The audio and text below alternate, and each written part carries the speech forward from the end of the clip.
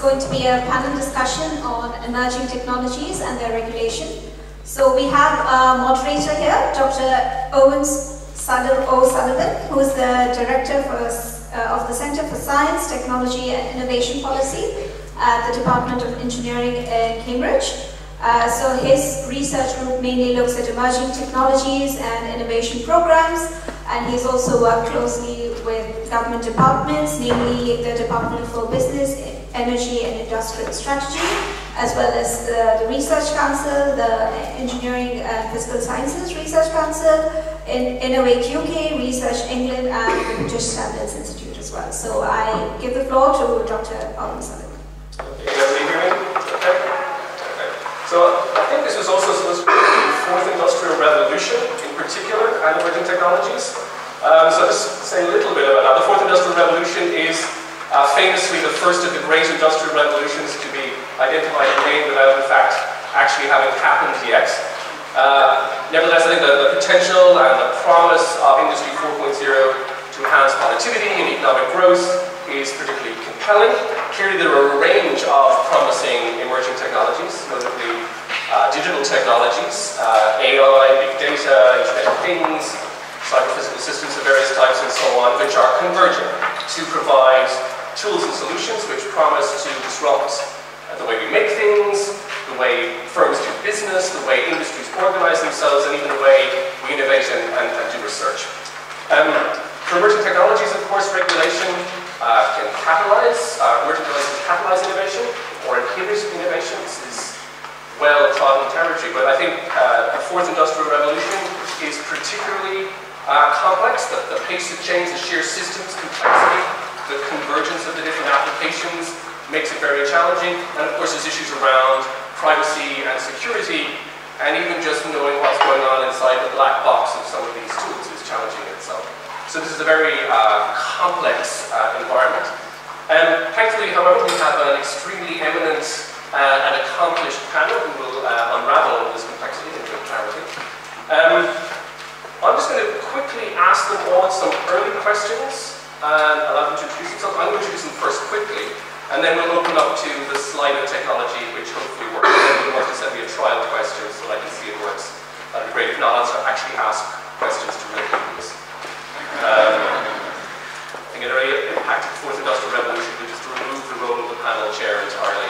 uh, Slido and a moderator bot. Yeah. Not, not soon enough. Um, so we have, as I said, an extraordinarily uh, eminent impressive panel. Um, one of the problems is that their biographies are so long because they're so accomplished. So I'm just going to very quickly uh, say a few things. Um, Going from uh, my right to left, uh, Sir Mark Walport is the Chief Executive of UK Research and Innovation. That's the government agency that brings together the different research councils, Innovate UK and Research England. Um, so Mark was um, a hero to many of us during his time as the, the government chief science advisor, uh, former director of the Wellcome Trust has no time to go into his eminent career as a leading immunologist and, and, professor of medicine. Um, uh, Adriana Machado is a former chief executive of GE Brazil, uh, founder of the Briyah Institute, very interesting benefit corporation bridging innovation, practice, and, and sort of socioeconomic purpose. Um, extraordinary mix of, of perspectives from industry, entrepreneurship, and policy. Um, Bill Janeway, uh, partner at, at, Warburg Pincus, legendary uh, US private equity venture capital firm, I think responsible for the, the IT bit of the, the practice bring Industry 3.5 through, no I had it. Um, also an economist, did his PhD here in Cambridge, co-founder of the Institute for New Economic Thinking, which is doing very important work. Um, and I should say, author of the book Capitalism and the Innovation Economy. Uh, a book so good that I own two copies, the first edition and the recently updated second edition. So. available in all good bookshops. Uh, uh, everyone should own at least two copies. Um, yes. Um, uh, Claudia Del Pozo uh, is the head of operations at C-Minds, again a very interesting uh, organization from a social impact agency, I believe. Um, and they produce some extraordinarily interesting policy reports, pilot projects on a whole range of issues related to the digital economy and related to Industry 4.0 from AI to blockchain. It's extremely interesting. Uh, and finally, Saurabh Johri is the um, uh, Chief Science Officer at Babylon Health, which many of you will know about, and head of AI research, uh, and formerly a researcher at the MRC Centre for Outbreak Analysis and Modelling at Imperial. So, a brain's trust to unravel the emerging technologies and issues to do with regulation. Um, very quickly, Samar.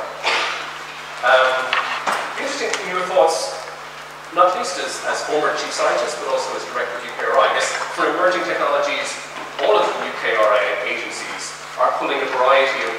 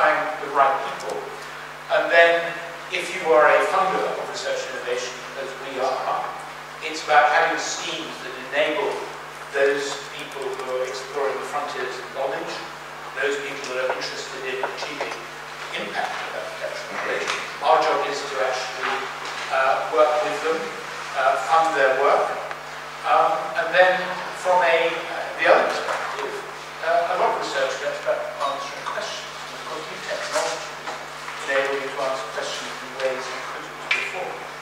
Um, it's actually a paradox that if you look at the people who get Nobel Prizes, most of them are people who develop new approaches, new methods, new technologies very rarely get someone asking writing a grant to ask But so the other lens is from the applications, in other words, what problems can we solve?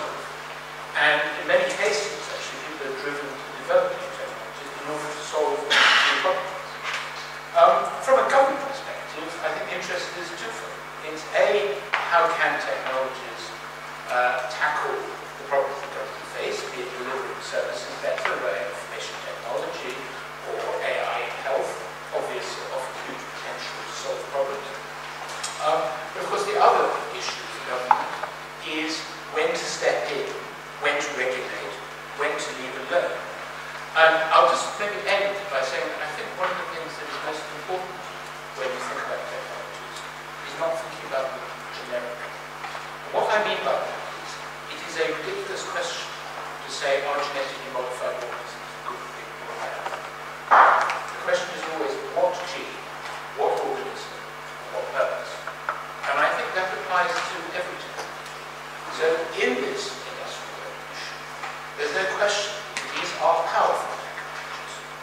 They have the capacity to do things, and they have the capacity to do bad things. And actually they have the capacity to do both at the same time. Um, and so the challenge isn't, I think, say, is AI a good thing or bad? Um, it is a technology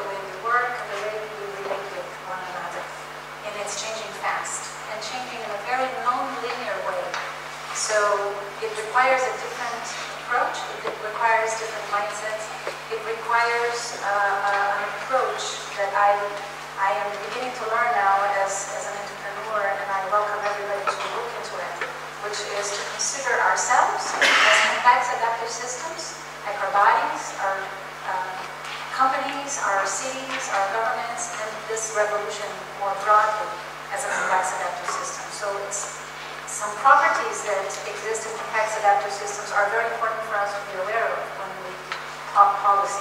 And one of them is emergent. Self-organization is also very important.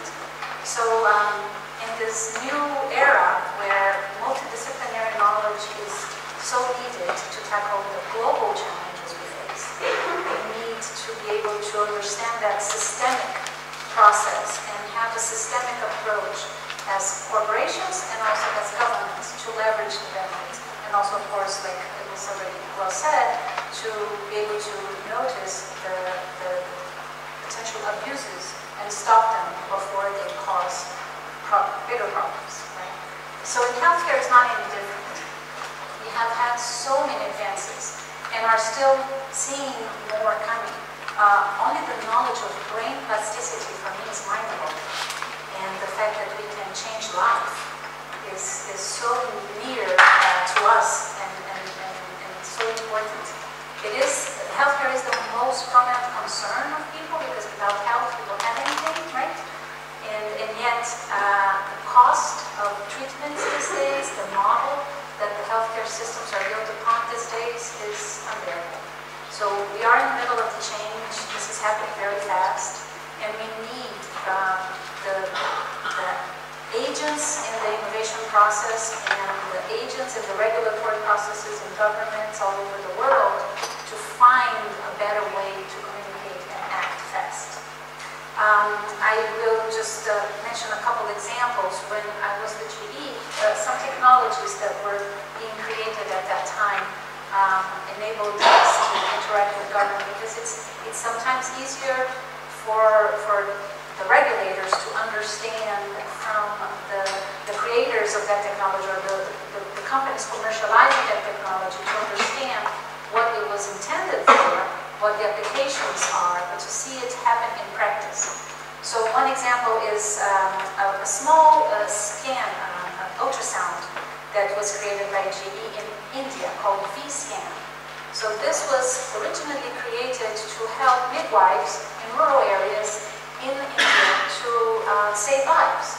And um, so they could, you know, take a, a, an ultrasound and avoid several problems when the women were having children in remote areas and did not have access to hospitals. But then it turned out that this application was very,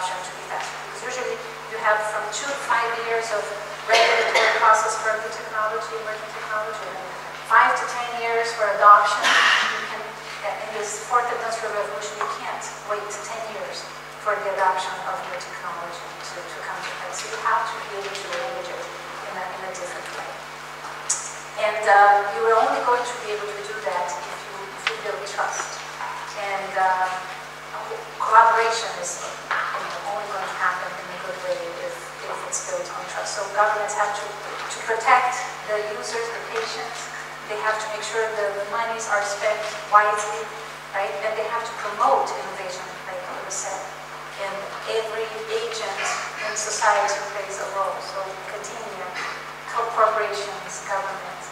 And um, I, am very happy to see that uh, playing the role of corporate and so public-private partnerships in, in, the world, there is room for a lot of conversation and dialogue and, and, um, and alignment. And in the fourth industrial revolution, especially in healthcare, it deals with people lives so directly. We need to make sure that this processes work smoothly. Thank you very much. Um, thank you for the questions coming in. I, I, do notice that one of the questions is about the volume. So I don't know if, if it's possible for colleagues to turn the volume up uh, slightly. Um, Bill, as, as, loudly as you like. Um, from your perspective, I mean, really interesting to hear about what needs to happen for effective innovation of emerging technologies, but the, your perspective in terms of the role of venture capital and startup firms in terms of innovation in emerging technologies. And maybe a sort of secondary question, personal question as well. I guess in the, in the third industrial revolution, when it was about scaling up IT firms, cyber firms, without physical capital, that was one thing. I think one of the interesting features of the fourth industrial revolution is this sort of cyber-physical, highly complex systems. And I'd be interested in your thoughts as well on how VC approaches investment in big, complex cyber-physical systems technologies. Well, so I'm going to begin by confusing the topic as much as possible because I don't see a major disjunction between the emergence of IT from the spillover from the military to the commercial world circa 1980 and the digital revolution that we're all living with now and which is informing every aspect of innovation, including, for example, genomics, personalized medicine, um, uh, additive manufacturing, that is the rendering into from atoms into bits and then back to atoms. In fact, I think that is a, a major theme of what we are learning how to live with or choosing that we really have a problem with living with some of these consequences of the digital revolution. Let's try to make that a little more specific and break it into some pieces. So it became clear as we emerged from the global financial crisis itself, very much a consequence of the digital revolution, of the construction of what Warren Buffett called financial engines of mass, weapons of mass destruction, which were not possible without the application of computers to financial data. As we emerged from that, it appeared that we, we really had merged, emerged into a world in which the digital revolution had matured. And that can be observed in various ways. One is the emergence of disruptive web services employing relatively small numbers of people in some cases, uh, but where the cost of developing a new technology, uh, a new application, I should say, this is what I kind of think of as the degenerate phase of a technological revolution. When the technology is so mature, as electricity was by the end of World War II, that it's open season for in innovators to develop new applications, whether they're special toasters or whether they're uh, car services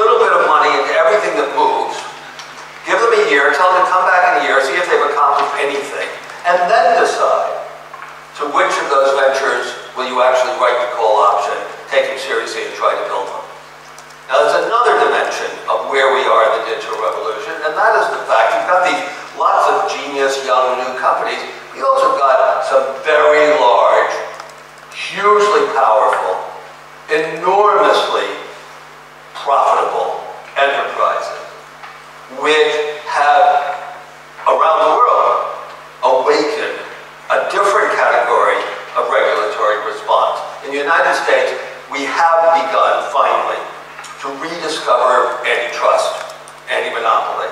You may have noted that 50 attorneys general of the state in the context of a federal government that seems to be more concerned about keeping scientists from playing any role in the formulation of policy than actually fulfilling the assigned statutory and constitutional missions of government. So the states are moving in. It's a very complex constitutional kind of structure in the United States. But this reflects this, again, the maturation of the digital revolution in the form of the Facebook. And then I'll, I'll, I'll finish with one final point. Historically, every technological revolution that has mattered has depended on two institutional buttresses of support.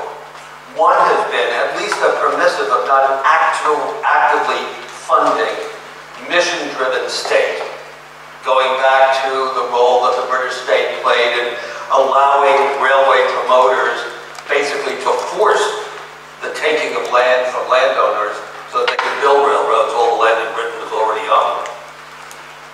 To obviously the role of the Defense Department in the Cold War in sponsoring all of the technologies from silicon to software that combined to make the digital revolution. But there's also been a second buttress, and that's one that we're seeing a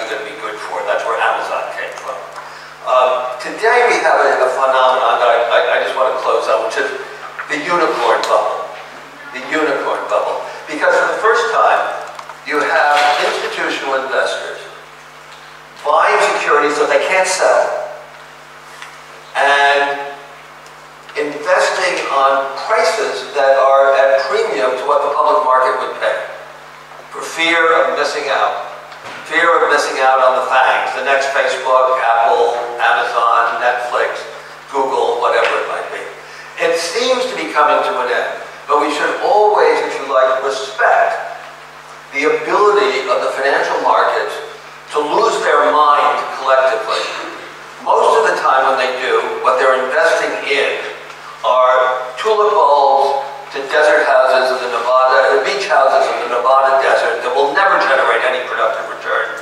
Occasionally, they finance railways, electrification, the internet, and created a new economy that changes the world.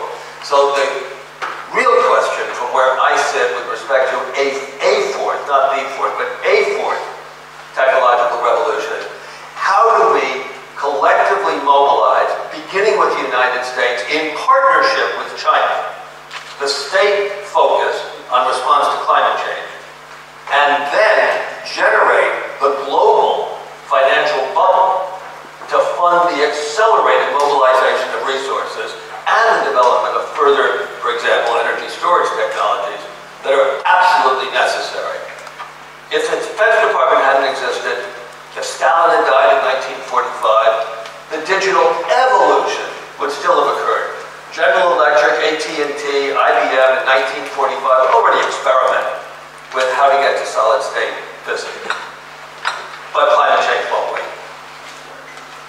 So, We will come back to climate change. There's a lot of unrelated questions there. And Claudia, um, having read um, more national government strategies for industrial digitalization and AI than is, is healthy for any one person, I'm very impressed by some of the documents that have come out, out of your company on, on uh, AI strategy for Mexico. Uh, so I'm just interested in the process that Mexico was going through in terms of strategizing for AI and developing policies for AI, how they engage with stakeholders, not least regulators. I'd be very interested in your thoughts and insights on that. Sure. So, um, in Mexico, the what, what we have today in Mexico is a first report on the basis for a national AI strategy. For that report, we analyzed strategies across the world to understand, you know, what were the different areas of focus, what were the, the different areas that, that, that seemed to, what were the different trends between the different strategies. And that first report aimed at informing uh, different stakeholders in Mexico, the entire ecosystem, on what was achievable in Mexico, what the, and, and recommend areas of focus. Rather than really, I mean, at CMIND, the way we work, we work in collaboration with the entire ecosystem for this. And rather than it being CMIND saying, hey, we need to focus on this, we worked with the ecosystem to see what their main concerns were, where they saw the potential of AI in Mexico. And from there, we decided that the only way that it would be logical to continue moving would be to still continue working with the ecosystem. So we co-founded AI 2030 MX, which is um, Mexico's national coalition for an artificial intelligence agenda, where the way we're working is we've divided it into different groups, uh, groups that look at, for instance, um, the academic aspect. From CMIND, we're leading directly the ethics group because we believe that ethics is not a conversation that needs to come afterwards. It's a conversation that embedded in everything that you're doing related to tech development. And each group is preparing kind of um, insights and what the what the strategy should look like from their angle, which we will then put together in a national strategy. And I think one of the biggest challenges when we're talking about um, policy, strategy, regulation is simply knowledge. Do the people who need to make these decisions have the knowledge necessary to make these decisions? Decide what kind of policy should be in place. So what we're doing is, number one, trying to generate more awareness. Awareness of what AI is, awareness that AI is not some sort of magical beast that is going to appear with solutions, that it's rather about pattern detection. We're trying to share that idea, trying to share that knowledge with government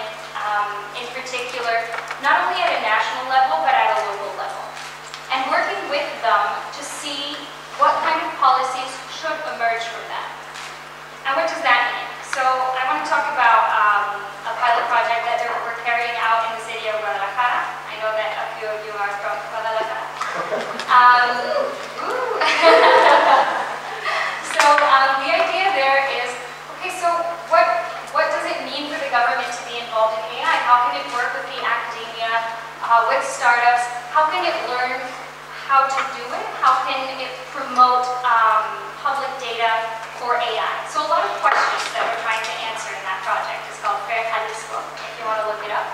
Um, and so what we're doing is we're creating a center together with the Inter-American Development Bank, uh, the Tec de Monterrey, which is one of the biggest uh, universities in Mexico, uh, and the government in Guadalajara to create a center that does quite a number of Number one, that carries pilot projects for the um, focusing on the priorities of the state. So for instance, health, uh, diabetes, that is, that's a huge challenge in all of Mexico, particularly in Jalisco, which is the state of Guadalajara. Um, how can we tackle that challenge using AI?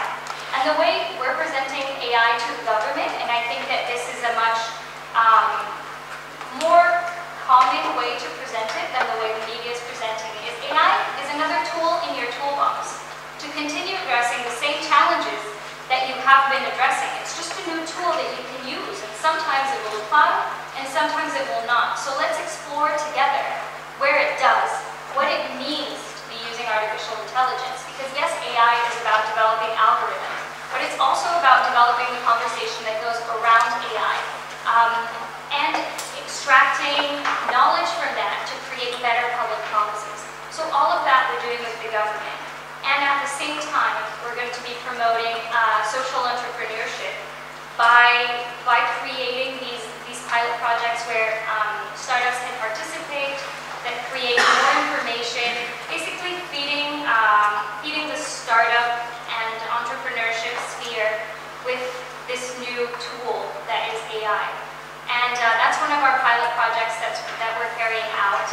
Um, among, among the idea is also, so just clarifying, that is a pilot project that involves different pilot projects. And we hope that that will be super helpful in involving all of the areas of the ecosystem in these discussions. They're going to all be involved in the development of these pilot projects and the discussions that come with it. What we don't want, for instance, is for the ethical conversation to come after, right? It's not a matter of, for instance, if you're a company and you develop a product and then you go to the legal team and say, hey, is, is this, is this legal? Is it okay? Can we send it to the market? Maybe they're going to say no. So you need to make it legal by design. The same way you need to make it ethical by design, you need to you need to share knowledge about the ethical problems that can happen. So that's why we're so excited to be working in this in this group of incredible um, not only organizations and government agencies, but incredible people, because that's the, that's who we work with. It's not just with the government, it's with people in the government who want to change things, who want to more open to understanding how technology can help them be a better government, can help them serve people better. So that's a, a very exciting project that we're working on. To answer your question. Thank you so much. so, uh, great insight into engaging with the ecosystem and pilot projects and, and ethics. Maybe return to this theme, but maybe in the, in the context of, of healthcare, sort of. I, guess um, AI in the context of, of health. I guess you've had interesting engagements with the National Health Service, which is an interesting, important part of the ecosystem, not least given all the patients data they have and some of the sort of issues around confidentiality of data, who owns the data, who can share the data, who share the data with. Uh, so I'm interested in your thoughts on uh, an experience with that kind of engagement in the ecosystem and, and lessons learned. Yeah, sure. That's a tough one. Um, so, of being last on the is I can say I agree with what was on before. Uh, in particular, a lot of what I was just mentioning about what is AI. I think this is a key question. I think there's a mystification around what AI is. There's a lot of language which is used, a lot of buzzwords which are used about AI and machine learning in general. I think it's clear to say that actually what we have as AI right now is narrow AI. Right? So we're not talking about what might be the fifth industrial revolution, which might be AGI, which is generalized intelligence. We're very much focused on narrow intelligence for solving particular tasks. And I would say, going beyond this, um, what we consider as AI right now is largely being as a consequence of what is known as deep learning. It's a particular type of technique or a particular, a particular type of architecture for developing neural networks.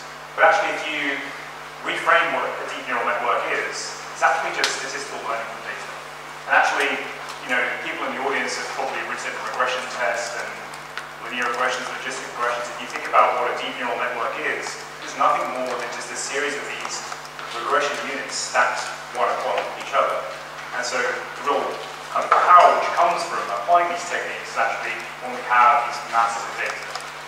Not just the data, but also the technical infrastructure and architectures which would be open source. So this means that actually developers, developers all over the world, so you know, people in the audience I'm sure, might have a Jupyter notebook coding away in some problem which they can pull data from, from the internet. So they can pull data from Wikipedia, they can develop a machine learning model and start to make predictions straight away. So this is giving people access to the tools and techniques at scale to develop solutions at scale. Now we talked about, in particular in the, in the realm of healthcare, the key, the key kind of considerations here are but also bias.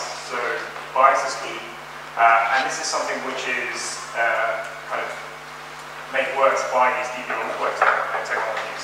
So this is why actually a lot of the research which we do is the development of so-called causal models. So causal heuristic models. So here you explicitly write down the causal mechanism which, which has created your data, or which has created the signal. And because of this, you have interpretability and explainability. So in other words, if you have a result, a prediction or a recommendation to a patient, you can go back and have humans in the loop to assess why a particular prediction or recommendation is being given. And that's really key. So just to reiterate, it's the interpretability and explainability, and also the issues of bias in the, the data, which are exacerbated by some of these uh, technologies and techniques which have been developed recently. Fantastic. Um, Have quite a few questions here. Just, just a couple of quick questions. Um, so Mark started off by talking about learning from history. I, I wonder if people have examples they can point to of where, for emerging technologies, innovation has been inhibited, where the wrong, the emerging technology trajectory, wrong pathway happened because of regulation or the wrong nurturing of government policy. Well, I mean, obviously you can debate what's happened with GMOs, where there was public debate, and broadly across Europe it's been difficult to introduce uh, GMOs particularly the food chain. Um, and I, I just want to touch actually on something that Adriana talked about, that I think. I think the danger with all this technology is that we really have got to look at it through the lens of how it changes people's lives, and also the lens of people's beliefs and values. And so the ultrasound example actually is very interesting because that's developed to genetic mechanism. Um, and of course, it's a great thing. You can diagnose, you can use it uh, uh, to explore how things develop in pregnancies. But you can also determine the gender of the fetus. And that has very big implications in a country where at least some people don't value females as highly as men. And so that actually created quite big problems because actually if you democratize a device that can in early in pregnancy work out whether a fetus is male or female, that has major consequences. And it's an example, I think, where we just have to look at technology again and again and just think there are the so we just say the, the of AI are obvious and sensible. But of course, when AI is used specifically to influence voter behavior, then that may not be quite so straightforward. I think part of the issue with GMOs was going back to my introduction, that it was treated as though it was a single thing. You know, is it good technology? It's just a ridiculous question. Because unless you look at it through, let's say, what gene, what product, for what purpose. But I also think you have to understand that people take a values-based approach. And there are some who believe you shouldn't with nature. Now that's actually not a scientific belief, it's a religious belief. Um, and I think that too often the researchers and technologists have discussions at cross purposes. So they think if we explain what a genetically modified organism is, that will somehow solve the problem. It won't actually, because there are some people, it's a small number of people by and large, they think it is just fundamentally unacceptable. You don't have a meeting in mind, and actually you're on the roads. And that's where regulation and democracy is brilliant, because we live in plural societies where people have large views. And at the end of the day, it is the role of government in democracies, and indeed not democracies as well, because the role of government is to sort of finally make decisions.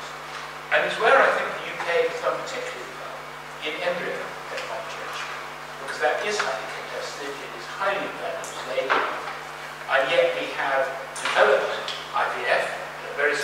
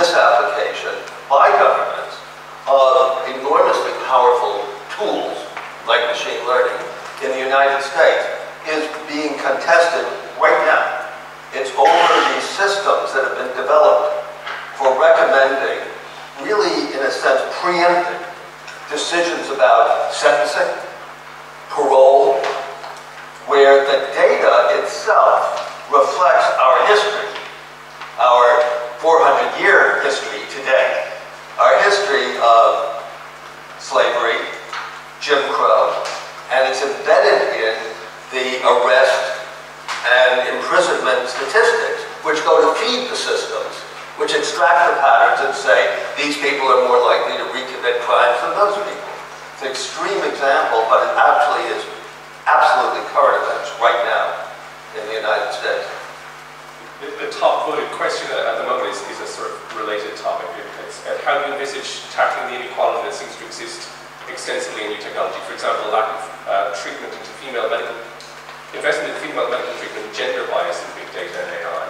If anybody has any comments on, on that or other sources of bias and how we should deal with them.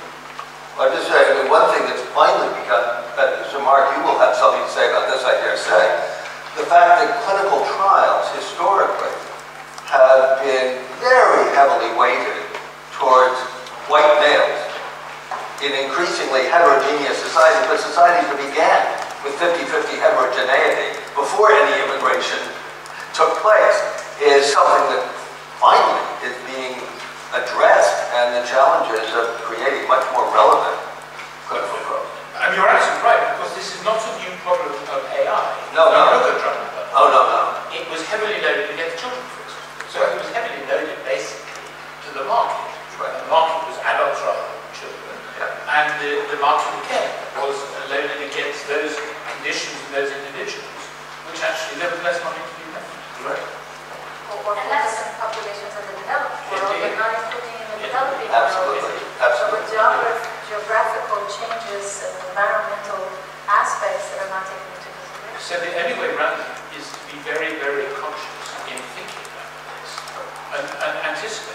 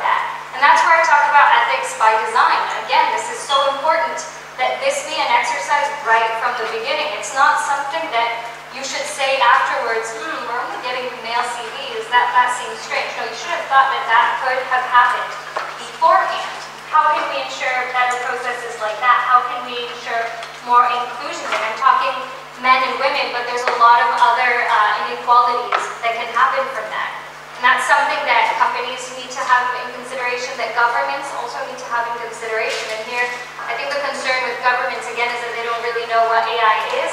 So how, how can you even start to talk about this ethical aspect when there's this, this base knowledge that's missing? So I think that's a huge concern. Um, that, that tech might create more inequality. That's, that's a very real concern uh, that needs to be addressed and needs to, there needs to be more conversation around these topics. So, I think um, there's often this idea that you know, we're just with data. All organizations, all companies are with data. But just again, it's, it's obvious to say this, but there's just so much bias inherent in that data. That actually what we need to get to is a paradigm of kind of human so I don't think we're at the place right now where we can just let a, uh, a model learn itself on the data and let that model run. We need humans and we actually validate the outcomes. Um, so I think that's the first point. So that's an increasingly uh, important consideration for regulated industries, healthcare, finance, uh, legal sector. Um, in terms of the applications of clinical trials, that's an interesting one. I think, um, yeah, I'm going to contradict myself slightly by saying there is a lot of data out there there's a lot of data which is not in clinical trials, it's in the real world setting. So what we can use machine learning artificial intelligence for is what those techniques are good at, crunching large volumes of high dimensional data into lower dimensional spaces and be doing comparisons to well, essentially trying to identify similar individuals. So in this setting you can do what are known as virtual clinical trials, so you can actually identify similar individuals in different arms of the population and then run a series of simulations to say, you know, expose this cohort of the population to an intervention, what is the outcome? It's not getting to the gold truth, the standard, which is a randomized control trial, but it gives you some information. It's not the answer, but there are some techniques out there which can help. Uh, we're looking at predictive analytics to try to avoid maybe the animal studies uh, that are non-considered cruelty against animals and stuff like that. So to the extent that we have the, the, the right uh, data that can be analyzed, and especially right now because the, the, uh, the research shows that women have 12, uh, twice more chance of developing Alzheimer's than men after 50 years old. So it probably has to do with hormones. So there is a gender that, that difference there in the mix. So you have to have research that is gender specific and that is also population uh, as diverse as possible because there's also because it's a multifactorial thing, disease, um, the deficiencies in diet that probably are more uh, visible in the developing world also affect the, the, the chances of having, the, increase the risks of having dementia. So I mean, you have to have diversity in the data used for, for research to develop new approaches, especially for prevention. Sorry, talk, talking about access to data, um, one of the questions I wondered I'm not going to give you an answer because I don't know. This is something that I think society has to think about. Every country has to come to a conclusion. Um, what, what is the right approach to have as much data as possible? So there's GDPR now in Europe. And I think it's fantastic in terms of privacy, and I'd love to know what, what the rest of the panel thinks about this. Um, but in terms of competitiveness, what, what is going to happen with GDPR? I mean, the, the, the, new economy feeds on data. That's how you, you, you create an algorithm based on data. So if you're restricting, restricting access to that data, of course, in the name of privacy, which is a very, which is very fair. But, but what happens to competitiveness? What happens to European AI companies? And what, what happens in a, in a, globalized economy where other countries are, are continuing developing AI without consideration for ethics, for privacy, and while other places are putting a lot of restrictions. I'm not saying one is good or bad, I just wonder where the trade-off lies and, and what kind of solution. You know, I think in a way, having more regulations also avoids being in the wild west and can promote innovation and competitiveness. But how, how do you make that trade-off viable? So there's a lot of new models that are being considered. But you need intelligent transparency and standards because Sure, data provides a lot of benefit, but it, it can be used to harm people in very arbitrary ways. And you don't have to look very back, far back in history, and indeed in the present, if you look at what's happening to the Rohingya, for example. Um, and so I think one's got to be very careful. We feel pretty safe in our society, but it's not true in all societies. And I think you know, we've got to put business models as well. There are business models that connect. And actually, a very good example is the implementation of mobile money in PESA.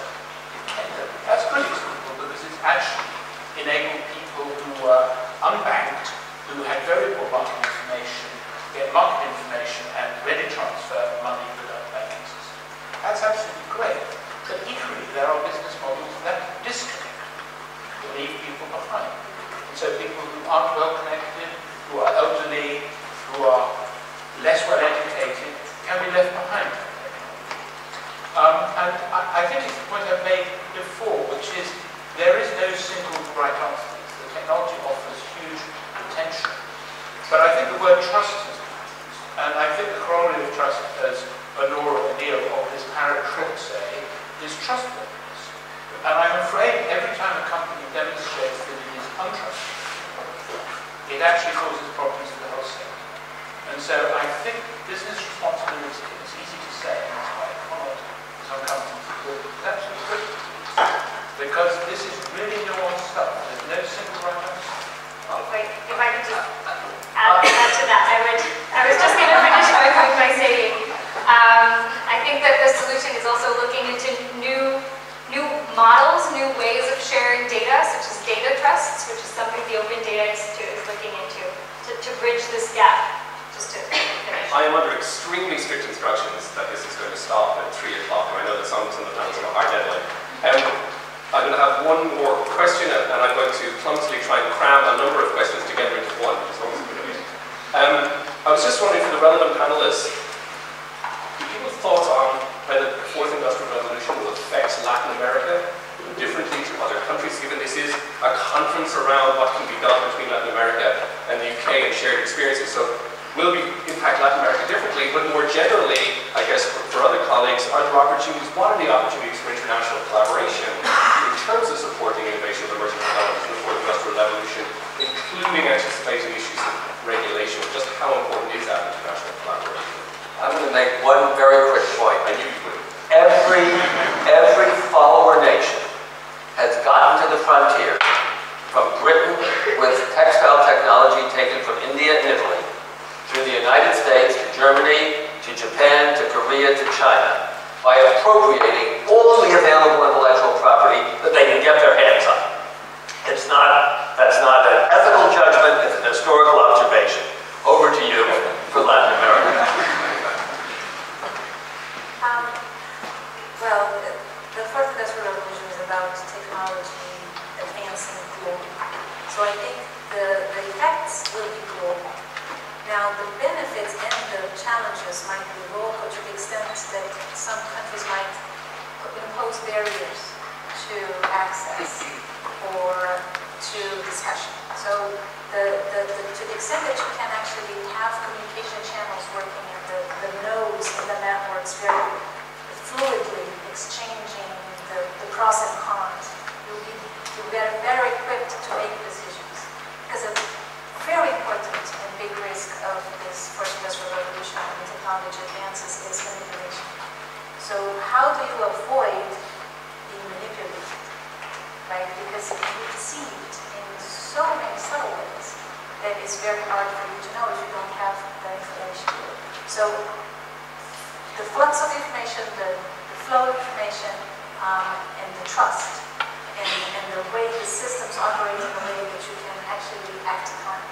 Like um, in, in, in Latin America, we have the big issue with corruption, and the companies applying more and more compliance um, rules to themselves, and governments trying to put that uh, to use too. So, so what is the, the, the the best approach to compliance. You have to have the right mechanisms in place. You have to be able to educate people of what can be done and what cannot.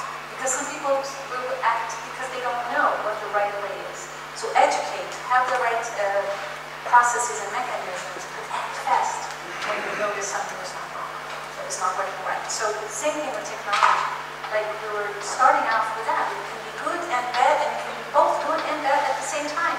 So how do you bring the light, bring to light the issues in a very, you know, um, mature way and deal with it front and center, but not hide it, because we need to move fast, but we need to move in, in an ethical way and to. I I think Latin America also has an opportunity to work together in this. And I mean, a lot of the countries of Latin America are represented here. This is a great step. Um, understanding uh, what, what is being done in different countries in Latin America. And one of our biggest challenges in terms of AI and using AI for impact is that there's not so much visibility of what each one of our countries is doing in Latin America. Uh, a lot of the projects is AI for impact. I don't see any place where all of these projects are being compiled. But one of the things that we are pushing for from C-Minds in the, so, so I told you about the, the Fair Jalisco uh, project. This is part of a regional pro project called Fair LAC, which we're doing with the International, uh, Inter-American Development Bank. And the idea there is to create a repository of all the AI for impact uh, exercises, pilot projects that are happening in Latin America and mapping key actors in each country. And that is one way that we can help us help Latin America advance and learn from what's happening there. So that's collaboration within Latin America. And if you know of any pilot project going on in your country, I would love it if you could email it to me so that we can include it in the, or, or tweet it, you know, uh, so that we could include it in the mapping. And in terms of, collaborating with the UK, I think there's huge opportunities. I mean, the UK is pioneering a lot of different topics. Um, I think open, open banking is an interesting topic that we can learn from in terms of opening uh, industry data in a safe, reliable way. And um, we've been, we created a report last year around open banking, working with the UK for Mexico. And, and now in terms of, of AI, the, the entire data trust conversation is also one which we're very interested in in Mexico. We're interested in, in piloting, sorry, piloting it through Fair Jalisco. So I think there's, there's incredible opportunities um, to, to work together, to learn, and also um, from, from the Latin American side to share stories of AI for impact and how AI is transforming, um, transforming challenges in Latin America. Thank you. In the interest of time, I will give the very final word to Sir Mark Walport. Okay, just very briefly. Uh, UK spends billions of pounds on international collaboration. All of this research innovation is international. Uh, the Global Challenge Research Fund is providing some of the support for this meeting. We have extensive collaboration through the Global Challenge Research Fund and the Newton Fund with many countries in South America. There are huge opportunities to work together on this. And with that, I ask you to thank us. with